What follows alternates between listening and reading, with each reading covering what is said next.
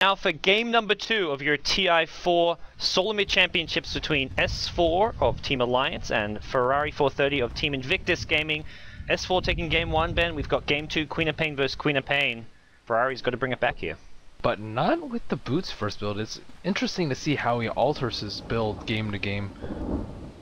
S S4, I think when in the pre-creep brawl Yeah. between him and Artesia was both uh, boots. No, him and Ice Ice Ice. Oh, him and Isis. I Yeah, that was the.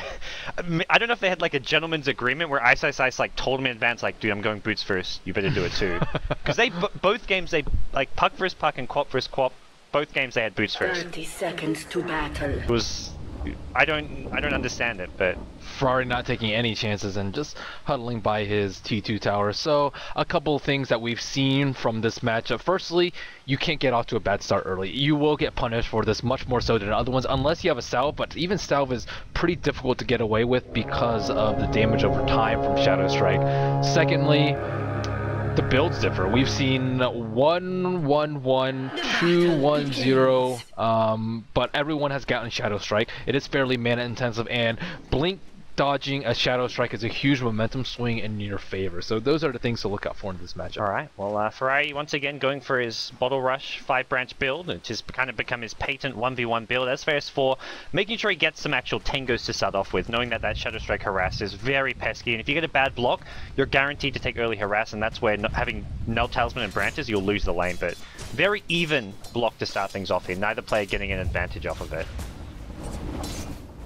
Yep, and Ferrari misses the first last hit, Hmm. and Ferrari will have his bottle again. So Ferrari probably doesn't have the upper edge from like zero to two, and then Ferrari will see a big surge in power from like two to like three, I'd say, and then it's S4's time to shine after that if he accrues a lot of last hits with Null Talisman. So that's what I expect the power struggle to look like in the mid lane, but anything could change due to upsets in CS. And so far, we have not seen the Null Talisman like really make a huge difference as far as last hits go. I mean, not just looking at this game. Obviously, this game we've only seen so few last hits, but as a whole, I feel like the Null Talisman first has not led to winning the CS battle again. I mean, with Ferrari's just cruised through. He's in the grand finals here and has not gone for the Null Talisman first in any of his games. Yeah, I would say the only uh, matchup the base damage really, really matters is SF versus SF. Everything else is Yeah. seems more timing based than actual damage based. Yep. Well, uh, we'll see how things start off here. Ferrari's bottle coming up as soon as he can get a couple more last hits. He does really rely on getting those early last hits to get that bottle up, and so far just the one last hit to his name, S4 with three, so very small difference, but at, at this early on, that small difference makes a, a world of pain for Ferrari, who's still struggling to get this bottle up. Although he does get two last hits under his tower, so that's going to be a nice little boost. And S4 is going for a 1-1-1. Ferrari also going for a 1-1-1. So Okay. not too much damage coming up from Shadow Strike. Shadow Strike is actually very damage efficient on levels two and beyond. Oh, Ferrari pressing up. He gets the scream as well, could get one more. Ooh! Wow, one more last hit. He was I- almost in range for it. Yeah, if he if he salves up though and Ferrari tanks like three tower hits, he Yeah. could potentially die. So that was a very risky position for both players. And there was the counter Shadow Strike, so Ferrari also had his was also slowed, so. And S4 has a salve whereas Ferrari doesn't. So that's a that's a pretty I like the choice from Ferrari to back off because end of the day the the trade was very much in his advantage. He got a lot of last hits off of it. He's got his bottle coming out. He'll regen up and once he, ha- he heals up, he'll be in a good position here. S4's only got 250 gold. He's still got a long way to go before his bottle. and it will be a haste rune top. Ferrari will scout it out and That's a pretty big rune. Haste is a very, very big rune in this matchup. It r- renders Blink near ineffective, as well as the opposing slow from Shadow Strike. Right, well. Yeah, if he gets aggressive off of this, S4 will scout it out immediately, so Creep score has evened out. Yeah. Both sitting at 8. The extra denies for Ferrari means he has got a slight... Actually, doesn't have the level advantage right now because there's a lot of creeps waiting for him, and we'll see uh, how he can do here. As he's looking for that Shadow Strike, we'll push S4 back, making him miss a last hit or two. Maybe level 5 with this haste ring, Ferrari can look to get a bit more aggressive. Yeah, and looks like Bottle is coming out for S4. Let's see if no, he... it's not. He's he's oh, really he- poor. He's- wow. I'm about to say, like, what, he's, found a bottle? He's got Tangos in it. I thought he had a bottle. I mean, Ferrari has his bottle. I guess the Null Talisman and the Haste Rune are just threatening S4 way too much. This is going to set him so far back if you have to spend regen on other things than bottle when you really do want that bottle. So, 4 minute rune goes to Ferrari, so he's going to be in control for it a significant amount of time. If he gets like a DD rune, even like an illusion rune will give him a big last hitting advantage, so... I think S4 almost has to guess the rune. I, does, I, I feel like he needs to go for the rune, even though he doesn't have a bottle. Well, he can just control it. Oh, actually, no, he can't. Yeah, he has to pretty much go in the fog, I think, or Ferrari will just chase him down with a haste That's rune. true. Yeah, S4 gets his clarity cancelled, does get most of it out. Invis going to spawn top, and that's the first lane you normally check. Going for the rune. Ferrari still got his haste rune. He can almost get aggressive and go for this kill under the tower here.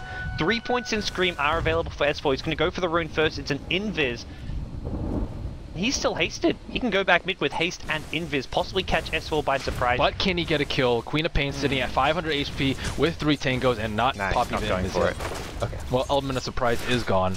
if he got like a DD rune there, I think he definitely goes for it, but not the case. And he's just using this haste rune to get a couple free right clicks off. And as much as this matchup so far has been looking really good for Ferrari, end of the day, he's not actually that far ahead on CS. Although a lot of S4's money is going to like Tango, Salves, Clarities, which is not really income, which is going to remain like Ferrari's bottle. Yeah, and Ferrari has actually already used Picks up. Invis. And he picks up some extra stats, gets his mantle, gets He, his he can blink, scream, and Sonic Wave and kill S4 right now if he actually sees him. So S4 has to stay out of vision. He can't go up to CS or he's gonna die. So He's he has to wait for a bottle bottle. yeah. Okay, this is this is nice for S4. Ferrari has a Sonic Wave. Is ooh, if he hits that, it's a possible kill. Denied. It's so close. He's just Yeah. right on the edge. I think he'd probably survive with probably 10, 15 HP at that point. As it stands, Ferrari about 20 mana short of using his Blink, Scream, Sonic Wave combo, even with the Magic Wand, but he'll get close there. His Bottle Crow is coming back, and I think he's got... Uh, no, no, no, Null tells me he's going to go for the Observer. I like it. It's nighttime.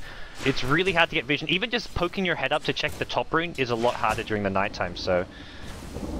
This will give Ferrari pretty much guaranteed runes unless S4 is just blindly guessing as to where it's going to spawn. Even for Ferrari getting the haste and the invisibility rune, he's only 2 CS ahead. Yeah. The net worth, though, uh, whoa, it's actually what? It's in favor of S4. I guess Ferrari started with a lot of tangos. Oh, nice blink dodge again. The observer was also do not add to his net worth here. Ferrari going to battle it out here in the mid lane, and we're going to see S4 push back once more.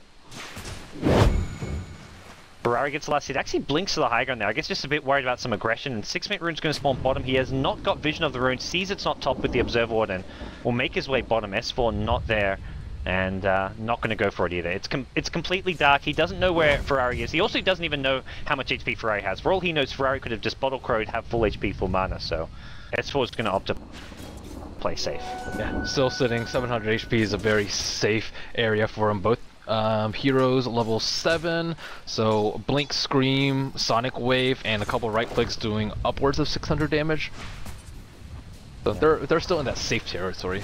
Do you, is this a matchup where you're going to be seeing people level up Shadow Strike, Blink, get stats? Like, what's what's your kind of mindset here in the 1v1? I think Blink, the damage is going to be very bursty.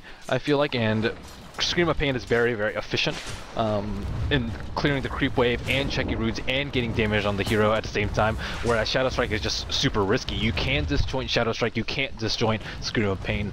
So it's just much safer to go for Blink. It's easier for you to check Stats, runes. stats is no go. Um, you could go stats too, but the blink leveling, you just kind of have to have it. It might cost you a rune in the game because you don't have max blink. Yeah. And like 10 to 15 minutes in, a DD rune could be all the difference here. S4 gonna get jumped here. The Sonic Wave is there. He wands up though, saves his life, or does it? The Shadow Strike damage is gonna tick. Tick, it's GG, it's all over. This magic wand charge can't be used. Throws the Sonic Wave for good measure. GG is called. First blood. 1 1. Grand finals going to end. Shadow Fiend versus Shadow Fiend. Game 3 decider, Ben. Oh yeah. That's where it's at. We- We've had a lot of SF versus SF. A lot of these matchups going the distance. Ferrari was going to get the kill there. Um, S4 just caught slightly off guard, didn't blink fast enough to evade the incoming damage uh, from the Sonic Wave and the Shadow Strike. Yeah, well, that, that does it. It was a closest 1v1 matchup. for Ferrari 430 was just the aggressor the entire time, though. So even though S4 kind of stayed up on CS, it wasn't really enough. And we'll see who takes in the Shadow Fiend versus Shadow Fiend, guys. So game three.